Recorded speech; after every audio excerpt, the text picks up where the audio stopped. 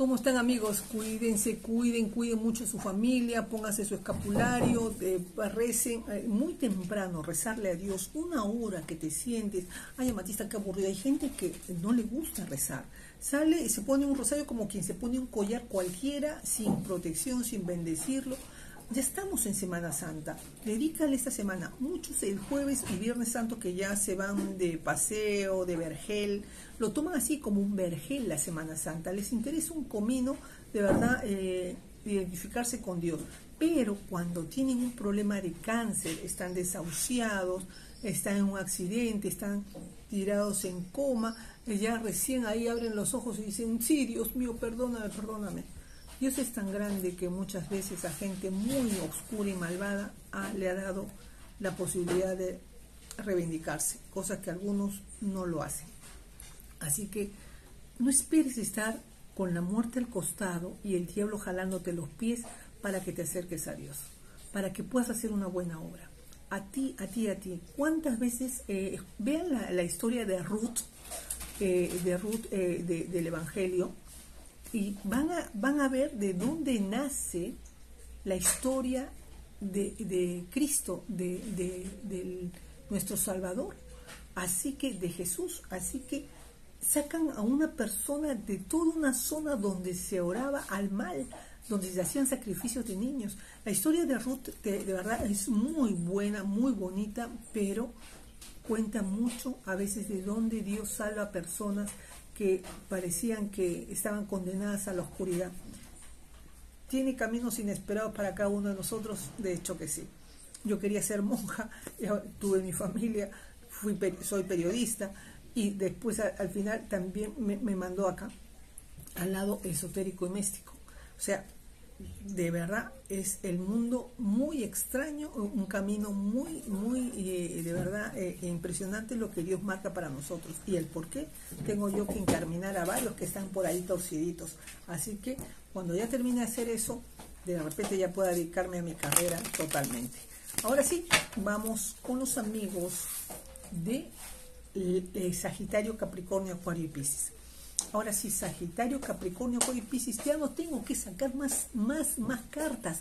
Cuando sale la mano de Cristo, sale la sanación, sale la curación, ya estás en un día total especial. Mira a Cristo, tu cabeza, tu corazón, tu vientre, tu camino total.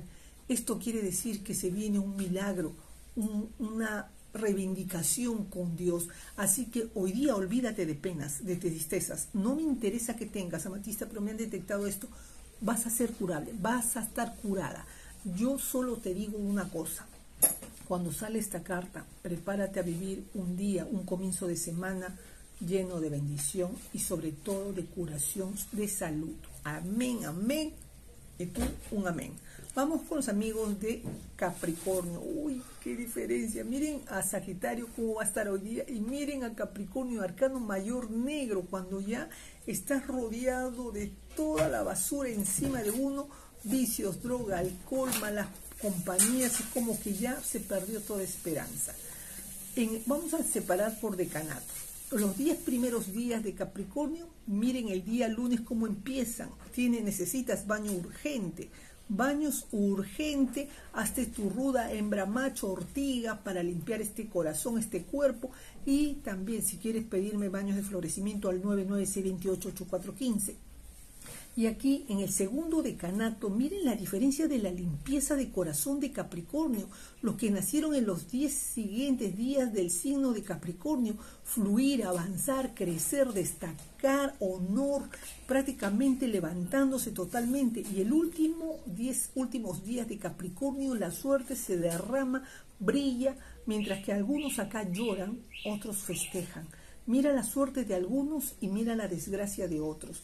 Cuidado Capricornio de los 10 primeros días, no sé en qué vicio, droga, alcohol o malas amistades o relaciones sentimentales estés yendo o te has sucumbido en la brujería, porque eso también indica que has perdido tu alma o tu camino. Vamos con Acuario.